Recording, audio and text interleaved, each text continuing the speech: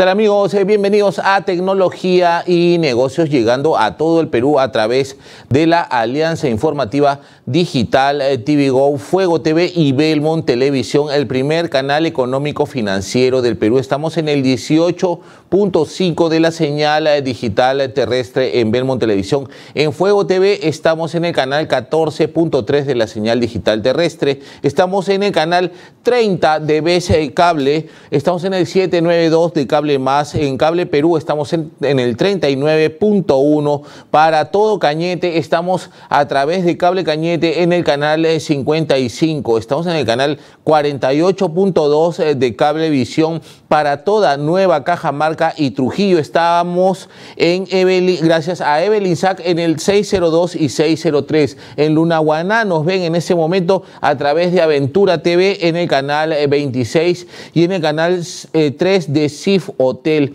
en el canal 23.1 de Cable Mundo. Y para toda la gente de Tarapoto que se acaba de conectar también en el canal 70 HD de TV San eh, Tecnología y Negocios presentando a los protagonistas de la innovación en el Perú y los mercados globales, siempre promoviendo al emprendedor peruano, este canal siempre fomentando el emprendedurismo al empresario a que se generen nuevos negocios y a que puedan confiar en este país, porque unidos vamos a salir adelante para un Perú mejor. Tenemos eh, como primer invitado a Carlos Alberto Castillo, él es el director de SEO a la carta, vamos a hablar de innovación en tecnología, posicionamiento web para empresas. Eh, bienvenido, Carlos, a Tecnología y Negocios. ¿Cómo estás? Bien, buenos días, gracias, gracias por la invitación. Bueno, eh, me estabas comentando, tú tienes diversas eh, facetas, digamos, dentro del marketing y diversas experiencias, y eso te ha llevado a, emprender, ¿no? Y emprender en un, en un servicio, un segmento que de pronto es novedoso, ¿no? Porque a veces el empresario se queda con que tienen que eh, hacer una web, construir la web, vender en internet, ¿no? Pero hay eh, eh, acciones de avanzada, ¿no? y eso es lo que tú haces. Correcto. Lo que pasa es que, digamos, un empresario cuando tiene la idea de construir una web, es simplemente lo, lo llevan a solamente tener una imagen o una presencia en la web y nada más. Entonces, el SEO, que es donde yo me dedico, es básicamente es que esa web sea encontrada en el buscador, que es Google por excelencia, el, monopolio, digamos, es Google. Entonces, cuando se hace una web, tienes que tener muchos criterios, una de ellas de, diseño, otra es de, experiencia de usuario, pero principalmente esa web tiene que ser encontrada y tiene que eh, responder a ciertos criterios que te pone Google. Uno de ellos, digamos de tantos, es la seguridad, la velocidad, y el contenido. Hace algunos años atrás eh, Bill Gates sacó esta frase que el contenido es el rey, ¿no?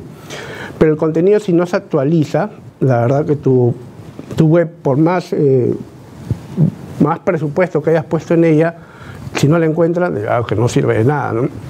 Y la web, digamos, en sí, cada cierto tiempo hay que alimentarla con información y hay que actualizarla.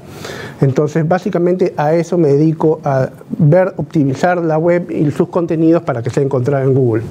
De pronto, en los eh, últimos años, digamos, cuando viene el furor del Internet, digamos, y, los, y las empresas apuestan por construir una web, un espacio en Internet con fines de marketing, buscar optimizar sus ventas, eh, pero y yo sentía que había en el mercado algo que, que entrampaba el, desarrollo, que eran los webmasters, ¿no? la gente que construye estas webs y de pronto no te dan el acceso, o sea, te construían una web estática. Claro y después para que la empresa quisiera hacer algún cambio, ¿no? Había que acudir a él, ¿no? Y, no se pensaba en el contenido, ¿no? Se pensaba solo en el espacio. ¿no? y tener eh, eh, pestañas de quiénes somos, servicios, contáctenos. ¿no? Claro. Punto. Hay, hoy en día, digamos, hay varios tipos de webs y varias formas, mil formas de hacerlas, pero tiene que, el, el, empresario tiene que ver si la web que necesita primero para saber para qué la necesita. Porque una cosa es tener una web corporativa, simplemente que salga eh, nosotros, contáctanos y estos son nuestros servicios. Digamos que ahí no necesitas una gran inversión como si lo necesitas de repente cuando vendes algunos equipos que probablemente te sean caros venderlos. Ya necesitas otro tipo de web otro tipo de, webmaster, otro tipo de SEO, otro tipo de programación. Entonces, dependiendo a qué apunta y a quién apunta, es que se decide hacer una web.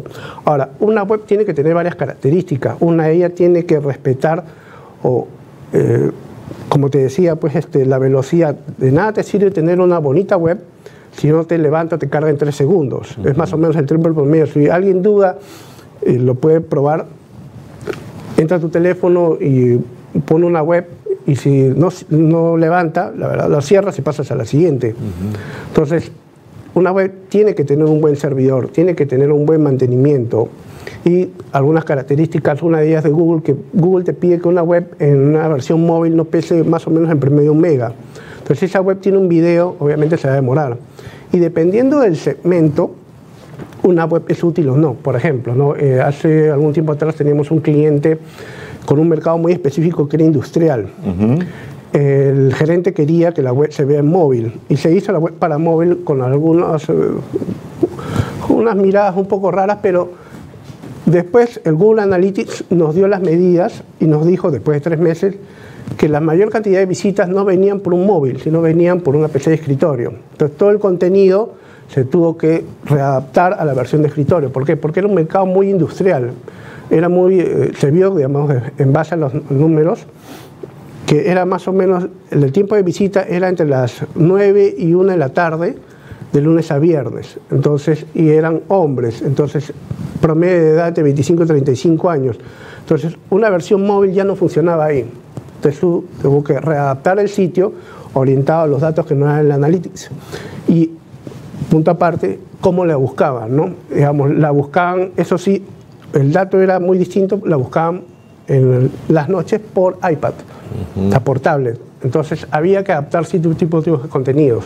Entonces, el Google Analytics también, también es una herramienta fundamental que las empresas a veces no lo toman muy en cuenta y dicen, ya, ya tengo la web, ya con eso voy a vender y me van a llamar. No, mentira, no, no sucede así. Entonces, tienes tu web, eh, le instalas el Google Analytics, después de un tiempo prudente empiezan a salir los números, quiénes te visitan, a qué hora te visita, cuándo te visita, qué URL son las que más visitas, cuánto tiempo se quedan, en qué versión, digamos, en la de PC de escritorio, y en base a esos números tomas decisiones de aquí a un tiempo prudencial, llámese tres meses, seis meses. Entonces, ah, mira, quiero hacer una campaña de Google Ads, pero si no ves estos números, ¿cómo vas a hacer la campaña? Entonces parte por ahí, ¿no? Hay mercados muy específicos. Cuando es el industrial, por ejemplo, como te decía, el ejemplo es, eh, PC de escritorio funciona muy bien, pero cuando es un emprendedor pequeño, chico, digamos, eh, las versiones móviles son las que, digamos, tienen mayor movimiento. Esto es parte por ahí que hay que entender, digamos, para qué necesitas una a quién le vas a vender la web en realidad y hay que seguir un patrón de colores, una psicología de colores, no solamente pues un loguito bien bonito y una web a ver qué te sale, ¿no?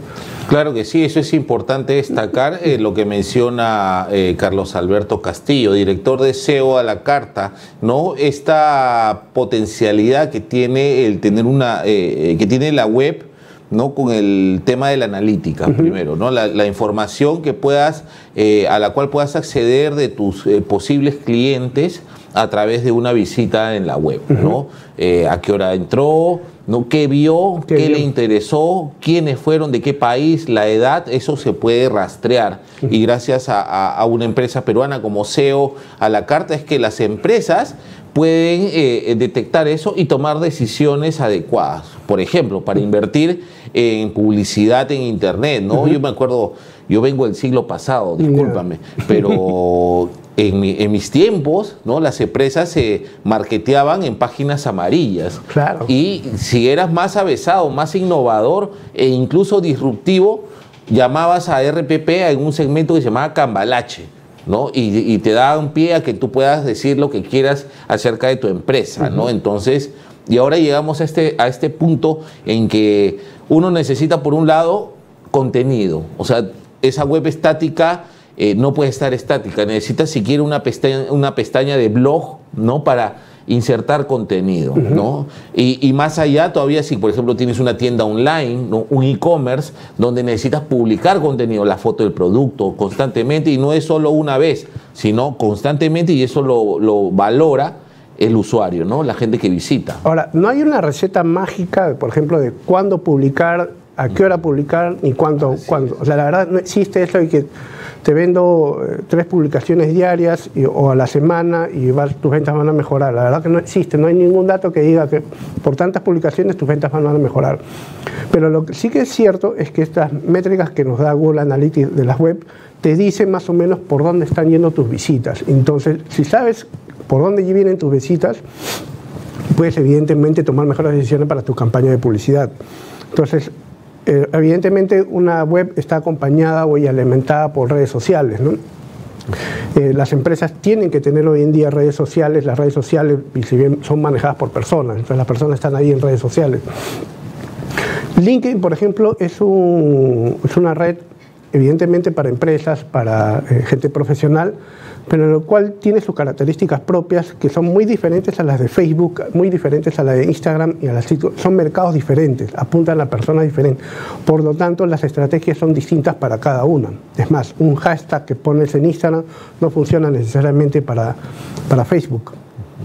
Así es sencillo. Una campaña, digamos, pagada en LinkedIn es mucho más caro que en Facebook. Pero en LinkedIn tú filtras por, por ejemplo, por profesiones, por empresas, y va a un mercado mucho más directo cuando tu producto es muy exclusivo, digamos, un producto de ingeniería, un producto oftalmológico, etcétera, etcétera, ¿no? En cambio, en una web tú le encuentras...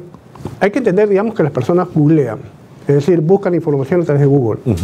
Eh, Google solamente entra hasta el home de Facebook. Por ejemplo, si te busca Juan José Sandoval, solamente va a salir eh, en la parte principal y nada más, no entra tu foto. Pero todo el mundo googlea. Entonces, para, para que tu contenido sea encontrado, evidentemente tiene que estar actualizado porque no va a salir tu página web hecha en 1998.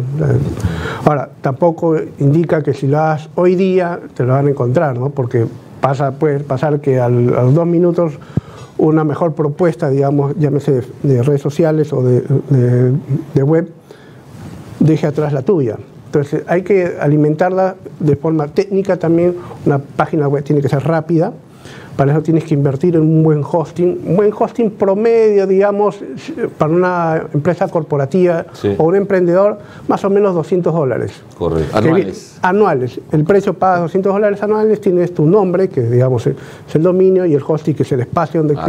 Una cosa es el diseño y otra cosa es, digamos, ya la implementación, digamos, de las redes sociales. ¿Recomiendas Amazon Web Service, por ejemplo? Si tienes un buen presupuesto, sí. Si es caro es caro. Tal vez sea el mejor, pero es demasiado caro para una persona que emprende. Yo, hay varios, uno de ellos van a hosting. GoDaddy no lo recomiendo, es el bueno, bonito, bueno, bonito y barato. No lo recomiendo, la verdad. Van a que no me pago por esto, pero es un buen servicio, tiene eh, planes interesantes, no recomiendo el más barato, y el intermedio. Hay un intermedio, ¿no? Hay uno de 200 dólares y pico, que es el dominio. Incluso por el, los 200 dólares te da el nombre gratis, el dominio y el hosting. Entonces ya contratas tu diseñador. Y el diseñador básicamente tiene que tener en cuenta que todo ese contenido que hace, llámese los frames, los URLs, tiene que ser encontrado. Entonces tiene que cumplir características técnicas que pide Google, que es la velocidad, el contenido y, digamos, que tu texto, tus imágenes, tu video tengan que ver con tu página web. Tú has tenido experiencia en periodismo recientemente, has estado soportando este, la, parte digital, de información de un importante medio de comunicación, ¿no? este, eh, sudaca.p, ¿no? Eh, y, cómo te involucras y cómo ves este tema del manejo de la información, porque los portales de noticias requieren primero un buen servidor para que funcione, ¿no? Y otro tipo de... Y, ahí sí el SEO es sumamente vital porque eso permite enganchar en los buscadores, ¿no? Cuando se empezó con este proyecto, por ejemplo, nuestro principal competidor, evidentemente, pues es eh, el comercio, el grupo, digamos, del comercio en sí, ¿no? Entonces, no teníamos ni un like en Facebook, no teníamos ni una visita. Antes del SEO. Antes del SEO. Entonces se hizo un trabajo, se reestructuró todo ¿Para qué? Para que el contenido sea encontrado. Y de nada tenía, servía tener la mejor eh, nota, digamos, periodística si esto no, no, era encontrado. Para eso se trabajó con el editor periodístico, eh, un buen amigo Paolo Benza. Entonces, vimos eh, cambiar ciertas palabras a los titulares, los, los eso Es lo que mencionar. Es, estratégico usar ciertas palabras o redundar también, ¿no? Claro, les doy un ejemplo. Por ejemplo, el peruano no usa la palabra escuela. Y en un titular se puso la palabra escuela. Usa la palabra colegio para referirse al sistema educacional, colegio, colegio, colegio. Entonces la palabra escuela no funcionaba, no atraía muchas visitas.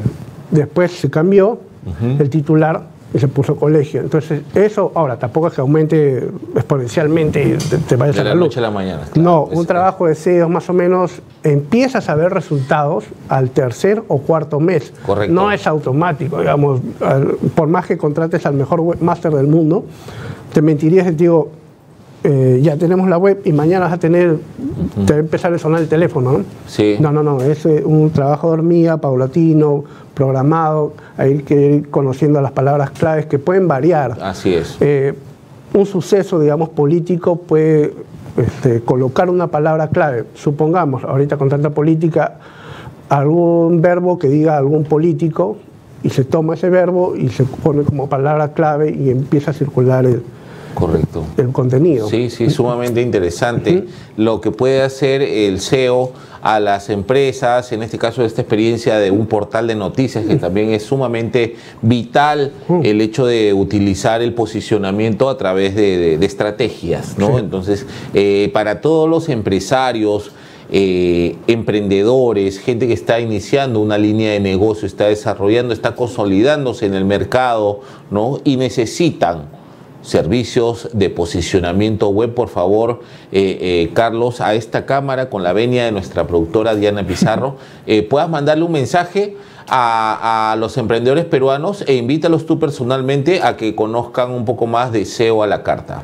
Gracias. Mira, a todo empresario que, que está, digamos, con la idea de emprender algo o impulsar su negocio, hay que arriesgarse, no teman equivocarse, equivocarse en verdad es parte del proceso.